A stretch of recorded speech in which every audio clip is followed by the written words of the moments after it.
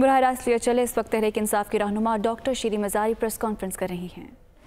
और खुदारा, अगर किसी के पास नाइकॉप या पाकिस्तानी आईडी कार्ड या पासपोर्ट है, नादरा में डेटा है उनका तो आप ये खुद अब कॉम्स देखें, ईसीपी झूठ बोल रहे हैं या नादरा ने जानबूझ के उनको गलत इन्फॉर्मेशन दी?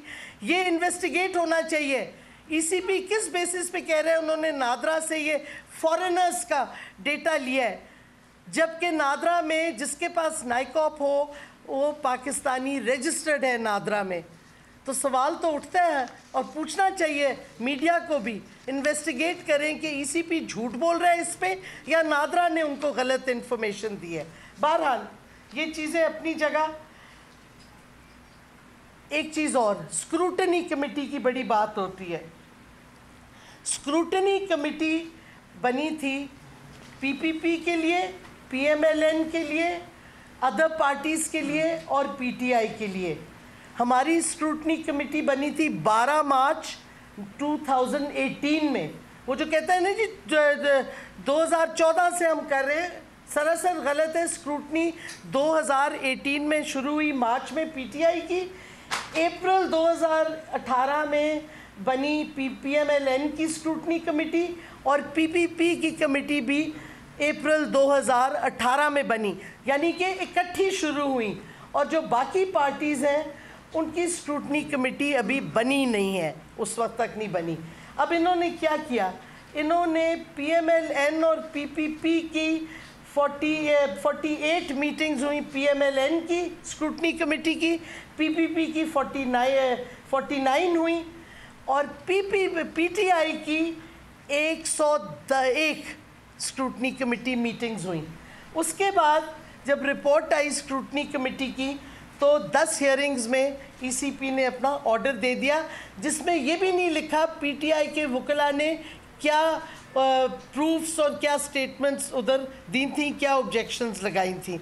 अब ये सवाल भी उठता है, ये जो कहते हैं कि जी बाकी स्क्रूटनी बाद में हो, शुरू हुई, सरासर गलत है। हमने ये डेट्स निकाले हैं। सबकी 2018 में हुई, शुरू हुई थी और किन की पे फोकस किया गया? सोली पीटीआई की हियरिंग जो आ रहे हैं। अब वो चीज़ें छुपी हुई नहीं रहती। हर चीज़ मीडिया में आ जाती है। तो खुदारा राना सुनाला, कुछ अकल करो। आपकी अकल ज़्यादा नहीं है, हमें पता है।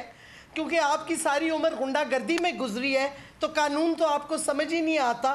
लेकिन कुछ कोशिश कर लो समझने की। इससे पहले कि और ज़्यादा पाकिस्तान में गड़बड़ आप करो और ज़्यादा आप आ, क्या कहते पॉलिटिकल इंस्टेबिलिटी और इनसिक्योरिटी करो। और मीशत की तो मैं बात नहीं करूँगी मैं इकोनॉमी पे एक्सपर्ट नहीं हूँ लेकिन कौम को आज एक और पेट्रोल बम मिल गया है।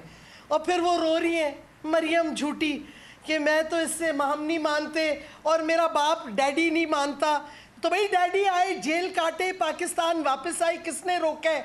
अपने भाई को हटाए इम्पोर्टेड हुकूमत बन के जो बैठा हुआ है, उसका भाई। क्यों नहीं आ रहा? ये क्या नूरा कुश्ती कर रहे हैं? एक तरफ़ से पेट्रोल बम और दूसरी तरफ़ से झूठी मरियम कहती, मैं तो अग्री नहीं करती हो भाई, तुम तो खुद कॉन्वेक्ट हो, तुम्हारी बात की हैसियत क्या है?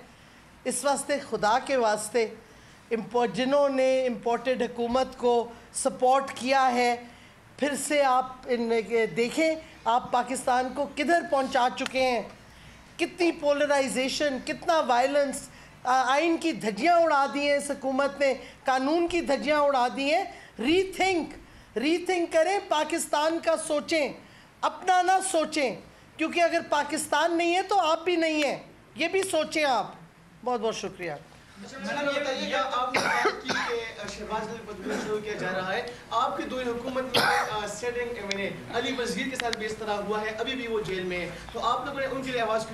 है। तो हमने बिल्कुल उठाई, हमारे ज़माने में फिर भी प्रोडक्शन ऑर्डर होता था, आए थे। इस दफ़ा हुआ इस दफ़ा कोर्ट के फैसले के बावजूद अली वज़ीर को नहीं लाया गया।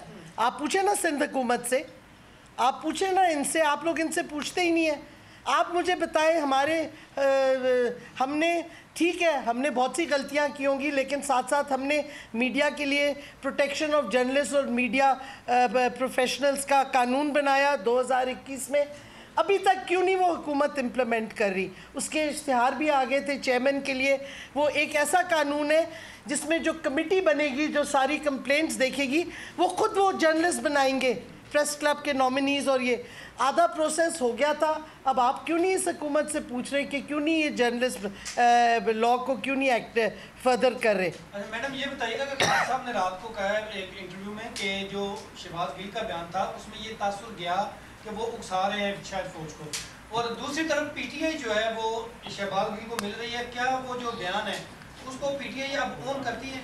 देखिए हम कहते हैं कि अगर उसके बयान में कुछ कानून की खिलाफ वर्दी हुई है, कानून अपना प्रोसेस करें। कानूनी प्रोसेस करें लीगल प्रोसेस करें।